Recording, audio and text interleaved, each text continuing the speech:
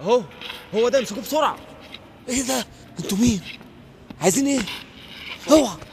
أي أي أي يلا يلا بسرعة دخلوه في العربية.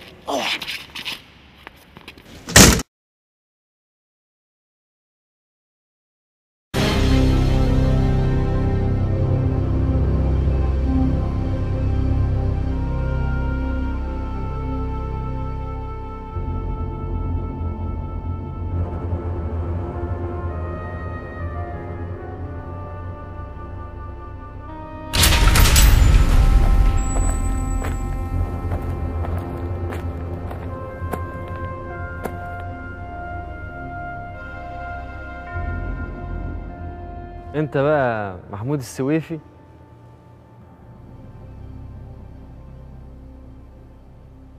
أيوه. أيوه أنا محمود السويفي.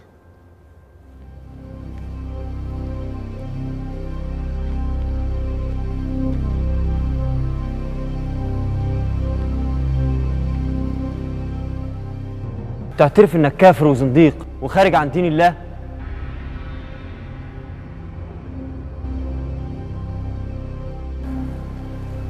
أنا بشهد أن لا إله إلا الله وأن محمد رسول الله.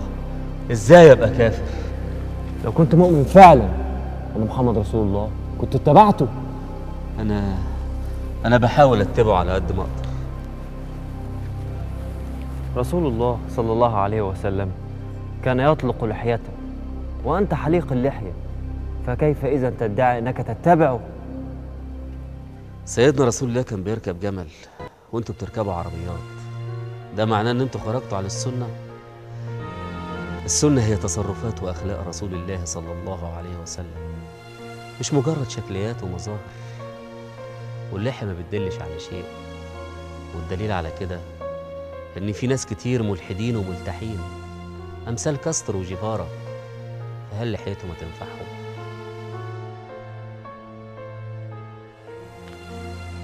تعترف إنك عايش في عالم جاهلي؟ وأفظع من العالم الجاهلي. عالم كافر مارق منحرف ضال. وأبشع من كده. عالم مجنون لأن في واحد زي سيادتك موجود فيه. بس أنت واحد من اللي بيأثروا في المجتمع ده وبيوجهوه. وأنا بحاول على قد ما أقدر أصلح في المجتمع.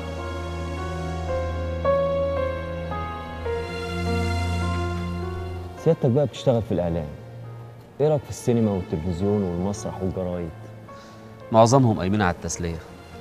بس إحنا بنحاول من وقت للتاني نقول حاجة ليها قيمة. بس الكلام ده بيضيع.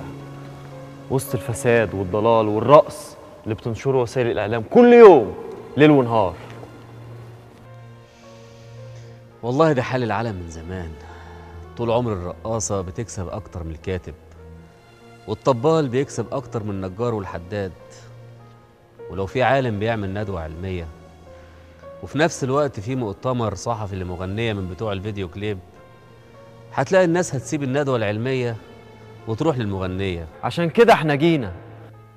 عشان, نصلح العالم, عمركم ما هتقضوا على الفساد بالرصاص والإرهاب ولا هتخلوا الناس في أخلاق أبو بكر وعمر بقرار وزاري ولا الناس هتتغير لما تكفروهم وتضربوهم بالنار. حضرتك مش مسلم. إنما مجرم. أنا بشهد إن لا إله إلا الله وإن محمد رسول الله. إزاي بقى أبقى مجرم؟ أنت بتكفر اللي مش بيؤمن باللي أنت بتؤمن بيه. وبتلعن أي حد يعارضك أو يخالفك. كل اللي أنت عايزه إنك تفرض سيطرتك وجبروتك على الناس. وده اللي ربنا نهى عنه. ولو رجعت للقرآن الكريم هتلاقي ربنا سبحانه وتعالى بيقول للرسول صلى الله عليه وسلم إنما أنت منذر. وإن عليك إلا البلاغ. وقال لا يضركم من ضل إذا اهتديتم. وقال كمان لا تزكوا أنفسكم هو أعلم بمن اتقى. صدق الله العظيم. وانتوا بقى بتزكوا نفسكم على الناس كلها وبتدعوا إنكم معصومين.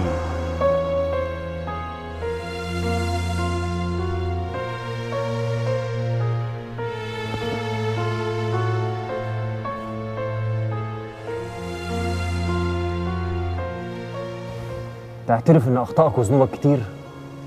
كل ابن آدم خطاء وخير الخطائين التوابون. وأنا بتوب لربنا كل يوم وكل ساعة. بس أنت ارتكبت فواحش كتير. أنا مش معصوم من الخطا يمكن أكون بخطأ كتير لكن كل أمل في رحمة الله. وإزاي بقى بتدعو الناس للفضيلة وأنت غارق في الشهوات؟ فعلا. يصدق عليك قول رسول الله صلى الله عليه وسلم عن علماء آخر الزمان أنهم كغثاء السيل لا خير فيهم. صدق رسول الله صلى الله عليه وسلم.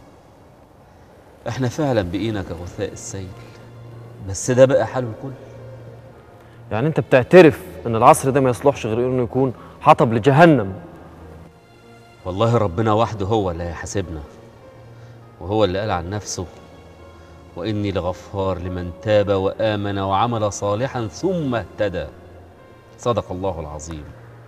وقال إن الله يغفر الذنوب جميعا. فمش من حقك تمنع رحمة ربنا عن حد ولا بإيدك تدخل حد النار ولا حتى تدخل نفسك الجنة. بس أنت اعترفت إنك ارتكبت كبائر ومعاصي كتير. من لم يرتكب خطيئة فليرمنا بحجر. أنا لم أرتكب خطيئة. ودي أكبر خطيئة. وربنا هيحاسبك عليها حساب عسير. أنتوا بقى بتتكلموا باسم العلم والدين وانتوا مجرد عصاه فاسقين مأواكم جهنم وبئس المصير. وأنا بقى بالرصاصة دي هبعتك للمكان اللي انت تستحقه. وكمان حضرتك عرفت إن هدخل جهنم ده إيه الغرور ده؟ حقك تبكي على مصيرك أحسن. أنا مش هبكي لأني برجو رحمة الله. هو اللي خلقني. عشان كده عمري ما يئست من رحمة الله. ذلك ظن الذين كفروا. لا ده إيمان المسلم. وإن شاء الله ربنا هيخلف ظنك. والله خلاف الظنون. ليك طلب أخير قبل ما تموت؟ أطلب منك أنت. أنت مين عشان أطلب منك حاجة؟ طبعا أنت بتحقد عليا وبتكرهني دلوقتي.